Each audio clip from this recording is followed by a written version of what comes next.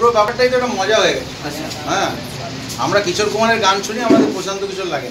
না তো পুরো ব্যাপারটা একটা পুরো ব্যাপারটা একটা মজা হয়েছে। কোটি কোটি টাকার দিদিকে বলার পোস্টার লেগেছে। একটা ফোন করে দেখুন কি হয়।